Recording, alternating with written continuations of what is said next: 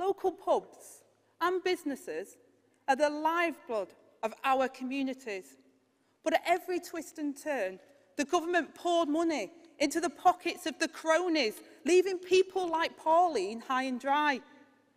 They need a government on their side. And instead, they get Liz Truss. Level down, Liz.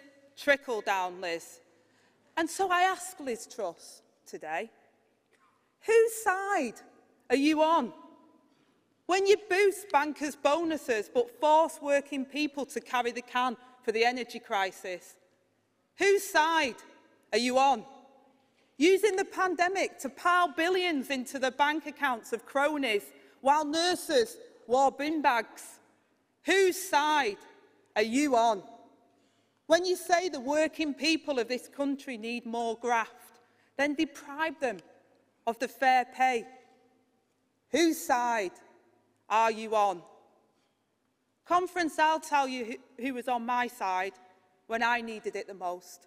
A Labour government was on my side when I had my first baby and nowhere else to turn.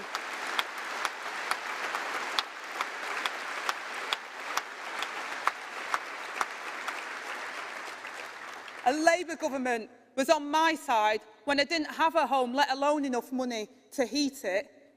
And a Labour government was on my side when I wanted to be a good mum to my kids and improve their lives.